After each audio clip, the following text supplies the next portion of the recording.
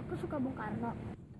Aku suka sama sama vokalis band yang dicekal sama wali kota Tangerang. Aku paling suka sama gitaris terkenal dari Kalimantan Selatan.